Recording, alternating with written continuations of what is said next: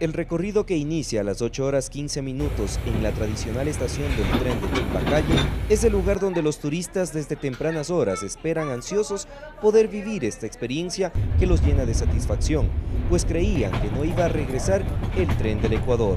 Esto está eh, muy hermoso, ahora ya podemos eh, conocer nuestro país mejor, disfrutar de lo que es nuestro. ¿no? El sonido de cuatro campanadas emitidas por el jefe de estación es la señal para que el conductor de la locomotora inicie la marcha.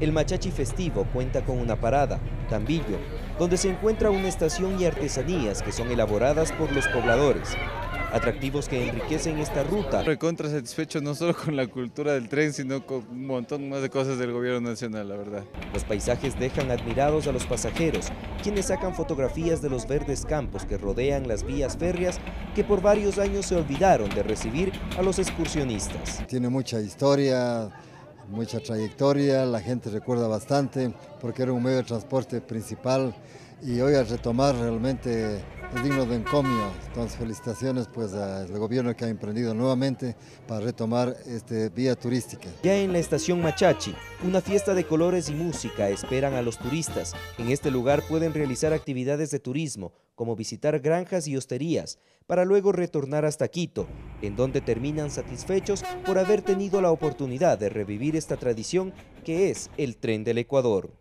Edison Flores, El Ciudadano al Día.